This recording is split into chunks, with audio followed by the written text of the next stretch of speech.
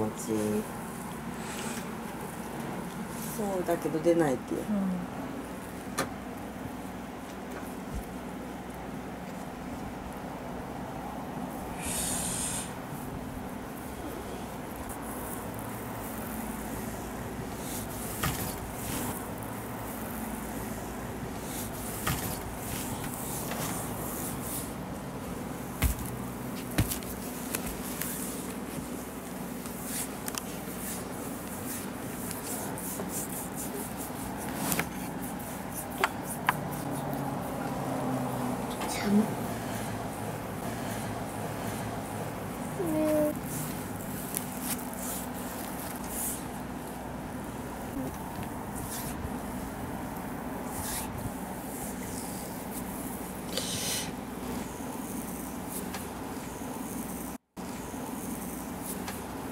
嗯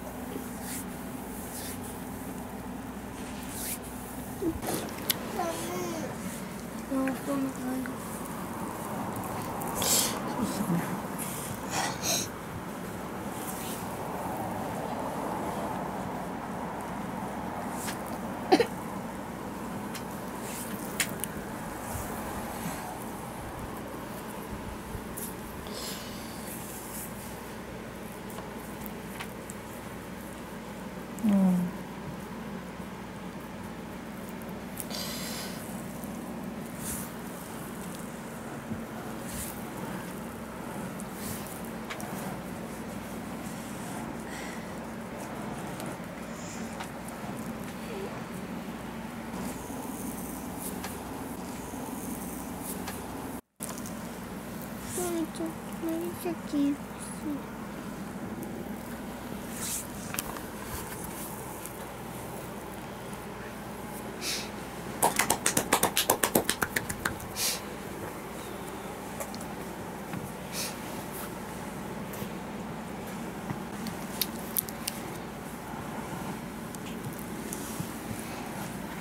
じゃあ、うこのベッドが柔らんかいからね、うん。どうしようかな。じゃあちょっとなるべくよ弱くやりますねそれはそれでもったいない気が。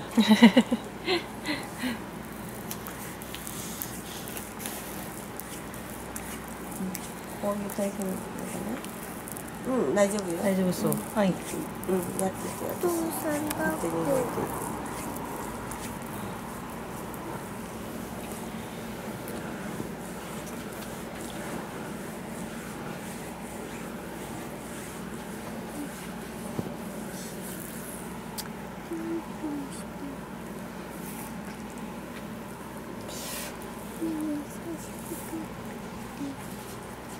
勝手に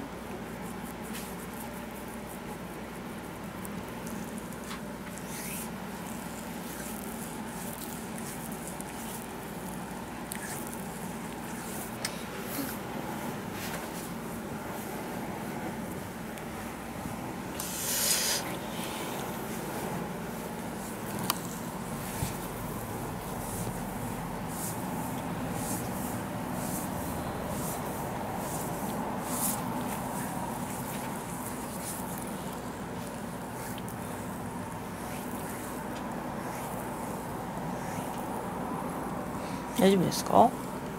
大丈夫気持ちいいです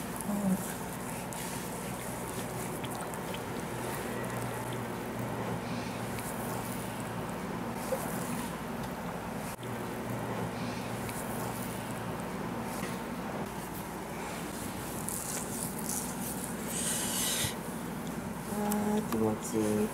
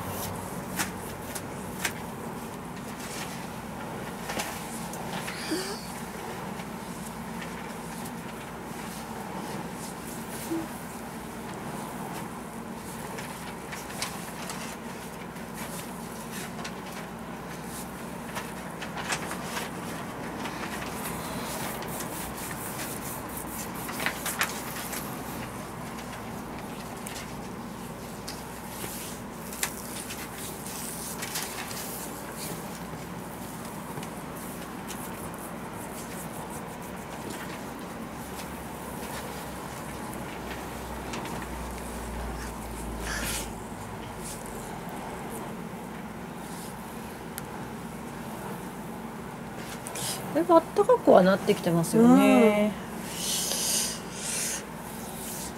腰回りが暖かくなった感じがします、うん。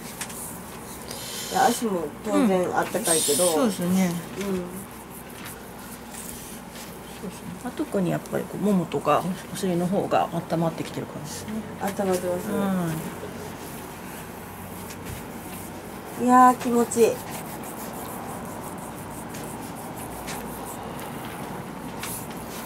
なんかセルロースだっけ？セルライトですね。セルロースはセルロース紙の。セルライトの感じがわかる、ボコボコしてるの、はい。ローラーでまっすぐしてるような感じの、うん。まあちょっとこう潰してね流してる感じですそうねそう、うん、ま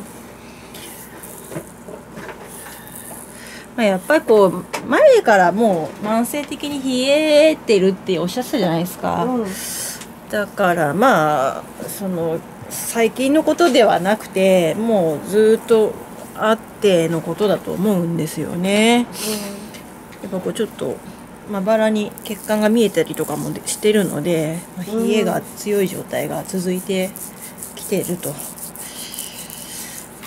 まあ、それっていうのはやっぱりこう腰痛も引き起こしやすいですし。ねうん。冬に入って突然ですよ結構。そううんかもしれない。うん。手首痛み出したのも冬入ってからですからね、うん。そっから始まってもう足腰、うん。そうね。うん。いやいくら気をつけててもやっぱりなっちゃう。そうですね。やっぱこうむくみがあるのでその溜まった状態になっているので、ううんん、これをすっきりさせないと痛いですねここね。痛いね。うん。すっごい痛い。はい、まあ、乾燥も出てますしねやっぱりこうちゃんと栄養が行き届いてないというかまあうん。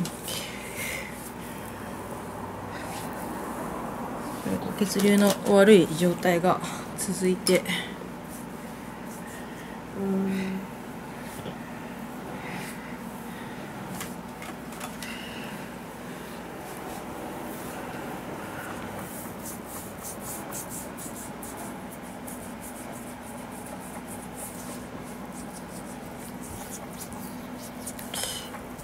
ああ痛いすいませんこれ痛かったはい腰腰に来たすいません動いちゃってすいませんこれでもこれ骨盤の反射区なのでこうか腰をほぐすことにはつながるんですけどねはい